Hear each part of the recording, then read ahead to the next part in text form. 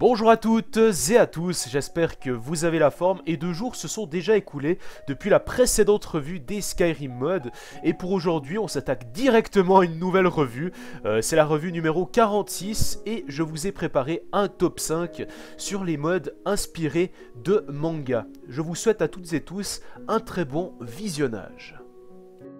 En première position, je vais vous montrer la Black Sword de My Hawk, tiré de l'anime One Piece. Et donc c'est un mode qui a été créé par Bloody Sunday, qui date tout de même de 2012. Et donc c'est une épée à deux mains que vous allez trouver à Rivebois. Euh, si vous vous déplacez en face du bar local, vous montez les escaliers et vous allez la trouver dans un tonneau. Cette lame ne contient malheureusement pas d'effet permanent, euh, mais notez que pour son imposante taille, euh, il n'y a aucun bug de texture, c'est-à-dire qu'elle ne touche pas le sol ni rien, petit bout de texture ne s'efface lors des déplacements ou autres, et c'est vraiment une lame je pense qui est indispensable pour les fans de One Piece. En deuxième position, je vais vous présenter un mode tiré de Kingdom Hearts qui a été créé par Abe Froman et Sosage King. Et donc c'est un mode que vous allez trouver exclusivement sur le workshop qui date du 25 décembre 2012. Donc c'est quand même un mode qui date également. C'est vrai qu'au niveau de ces mangas, on n'a pas beaucoup de modes qui sont tout récents, qui viennent de sortir. Et donc, en quoi va consister ce mode? Eh bien, tout simplement à vous rendre dans une forge de catégorie fer, de préférence. Vous allez trouver euh, tout un tas euh, de clés à une main, plus précisément. Enfin, que vous allez utiliser comme épée à une main, bien évidemment.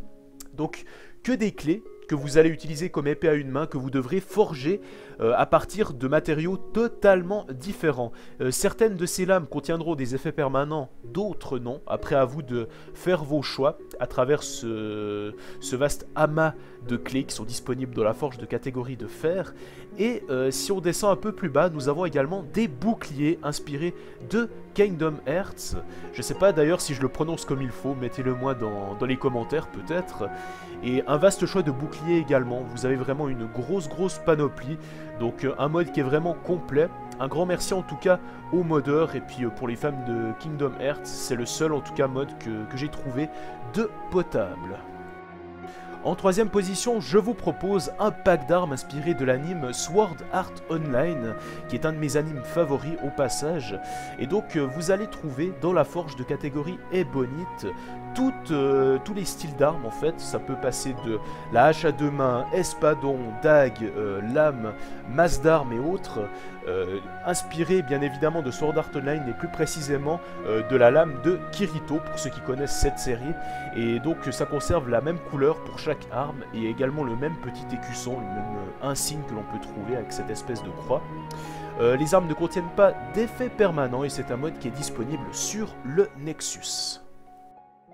Avec une telle popularité, c'était vraiment impossible que Naruto ne passe pas dans ce top 5. Et puis justement, je vous ai trouvé un mode euh, qui m'a vraiment plu. Donc il s'agit du mode Naruto Jutsu. Donc euh, c'est un mode que j'ai trouvé sur le workshop de Steam. Et donc c'est un mode qui a été créé par Clayton Wilson.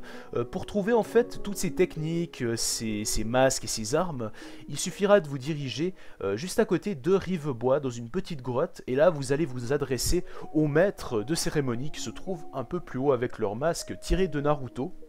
Donc par exemple si vous allez vers le forgeron vous pourrez lui acheter tout ce qui est armes, masques avec effet permanent et autres.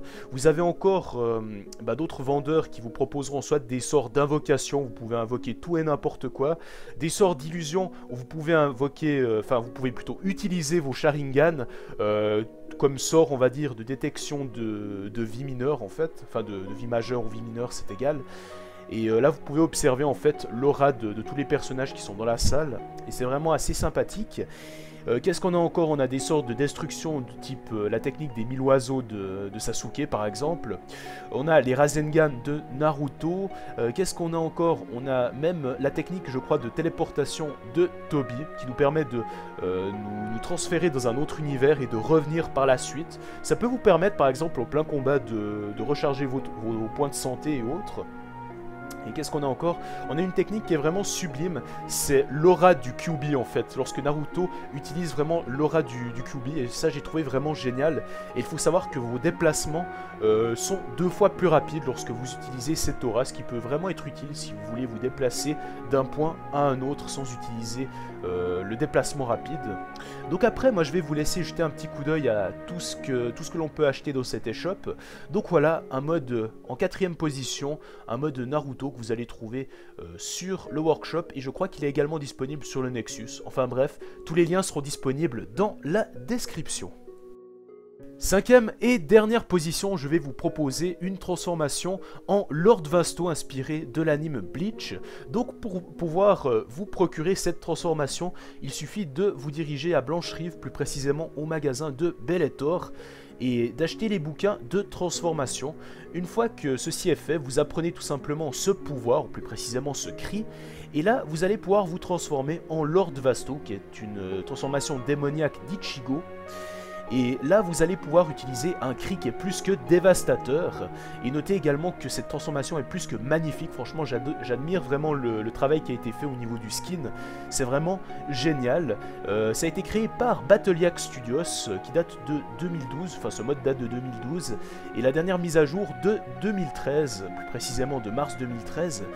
Et donc le modeur a également mis une petite note à la fin, euh, comme quoi c'était préférable d'installer encore le mode euh, du Zempatsu, donc c'est une sorte de sabre que l'on retrouve également dans l'anime Bleach pour un peu plus de réalisme. Mais moi euh, j'ai jugé qu'il n'y en avait pas nécessairement besoin. Et également, si vous voulez revenir en forme normale, il suffit d'aller checker en fait dans les sorts. Il y, a, il y a un sort en fait pour redevenir en forme normale, tout simplement.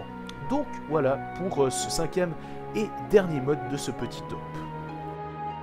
Et voilà les amis, encore un top 5 de plus à ajouter à cette euh, playlist euh, revue Skyrim Mode.